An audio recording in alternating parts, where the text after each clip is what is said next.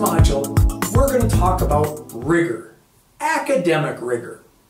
What does it mean to teach a rigorous course? Well, if you hit the research, you will find lots of different definitions, and there is no clear agreed upon definition for this particular construct. Uh, if you talk to students and professors, uh, you're very likely to hear some mix of two ideas.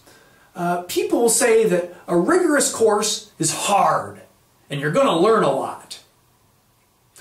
Now, pause right there. Being hard and learning a lot are not the same thing. Imagine, I could be teaching a nursing course, and I could say, my submission drop box is up top of that flagpole. Every assignment you submit has to be in that drop box by 5 p.m. or you flunk. Getting your homework in on time would be really hard. But that degree of difficulty does not say anything about whether you're learning a lot about nursing. All right? So a rigorous course isn't just a hard course. Things can be hard for lots of reasons, that don't have anything to do with actually learning something. If we sift through the literature, there are lots of ways to define rigor. What I'd like you to do is think of rigor as two words.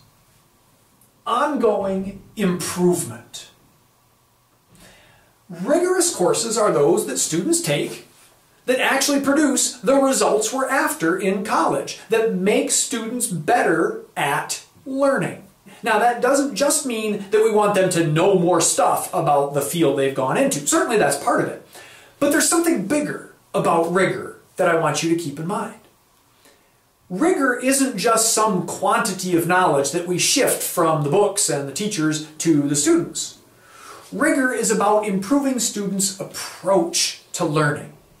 Okay? So we're going to talk three big words, pedagogy, andragogy, and heutagogy a lot of students come to college not because they're really self-motivated to come to college and seek knowledge, but because they were told, oh, you got to have a degree to get a job. So here they are.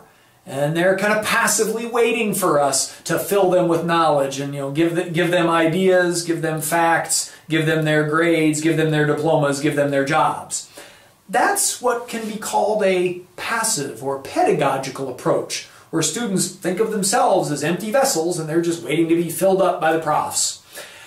We want to improve students' approach to learning, make it deeper than that.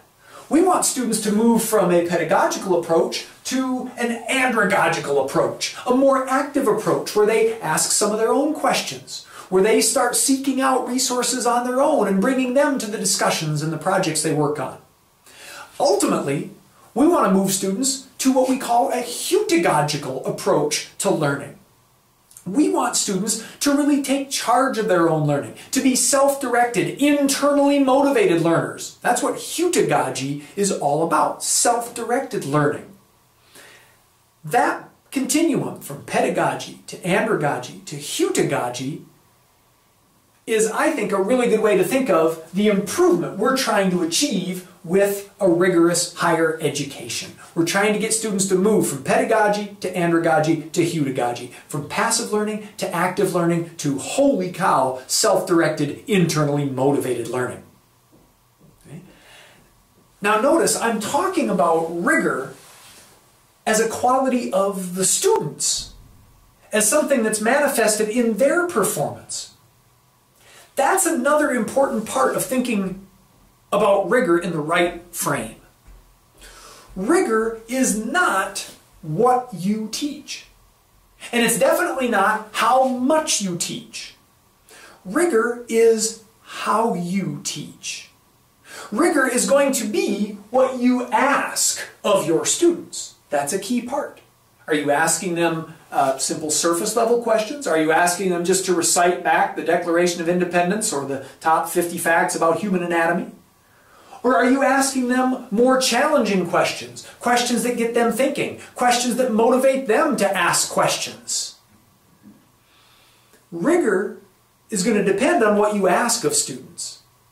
But ultimately, it's going to be shown, it's going to be proven by what the students themselves think and do. Achieving rigor is about getting students to do more difficult things. It's about getting students to move away from thinking that school can be handled as just a checklist. Uh, get away from a surface approach that just says, oh, I'm just here to do these tasks and hand it in and be done and fire and forget. We want to get students away from that surface approach to learning to a deep approach to learning where they start asking those questions. They become more active and they become self motivated as learners. That's what we're really aiming at with rigor. Because remember, ultimately, students have to be, they have to learn to be lifelong learners. We're only going to be with them here at college for a few years. Our goal needs to be to help students make ongoing improvement toward a deep approach to learning. That's what rigor in courses at Presentation College is all about.